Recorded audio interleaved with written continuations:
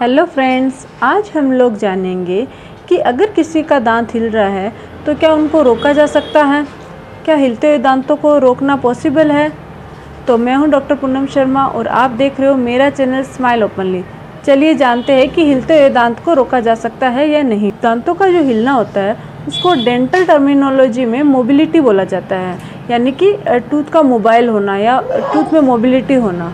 इस मोबिलिटी को फाइव भागों में डिवाइड किया जाता है। Grade zero grade zero mobility grade half mobility grade one mobility grade two mobility and grade three mobility grade zero mobility and grade half mobility काफ़ी लोगों में होती है, क्योंकि टीथ अपनी जगह हमेशा मूव करते रहते हैं तो ये नेचुरल होती है। इसको हम लोग दांत के हिलने में शामिल नहीं करते हैं। अब आते हैं grade one mobility grade one mobility का मतलब होता है कि टूथ अपनी जगह से थोड़ा थोड़ा हिल रहा है। थोड़ा वन एम mm से ज़्यादा वो हिल रहा है।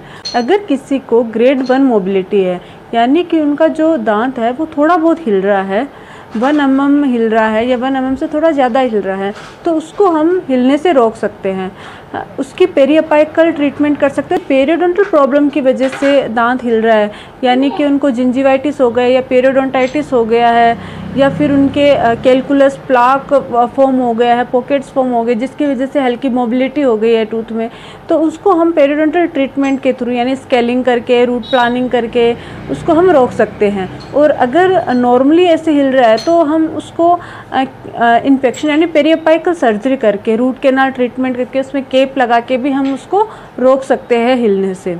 अगर किसी को ग्रेड टू मोबिलिटी है, यानी थोड़े से ज़्यादा दांत हिल रहा है तो उसको हम हिलने से तो नहीं रोक सकते, लेकिन उसको और ज़्यादा हिलने से और और मतलब बाहर निकलने से रोक सकते हैं।